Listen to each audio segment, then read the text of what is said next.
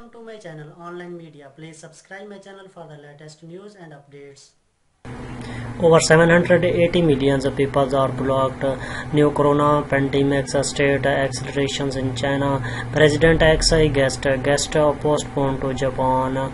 In China, the pandemic status of the new coronavirus is accelerating.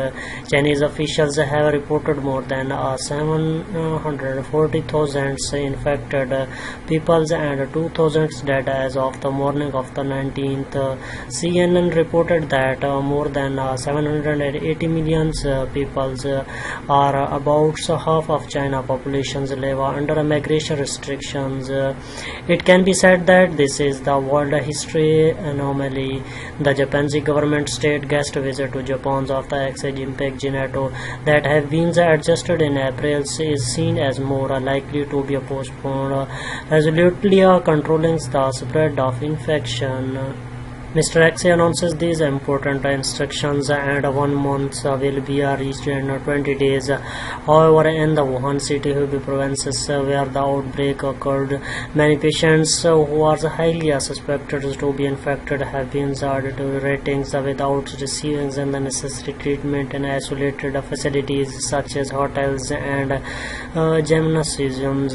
Confusions continues. About one week ago, CNN Japanese versions reported that about uh, one week ago more than 70 sites uh, and uh, 400 million people had been blocked or isolated.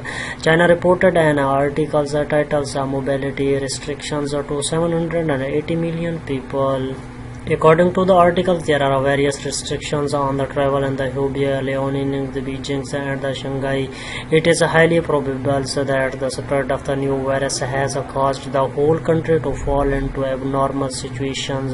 The United States, Australia, New Zealand, and other countries have already banned foreign visitors from the visiting China, but Russia also decided to enter the China for work, private use, study, and tourism from the 20th. When Prime Minister uh, Mikhail uh, um, Mishustin uh, signs the uh, decree on the 18th. Uh, in April, the Japanese government invited Mr.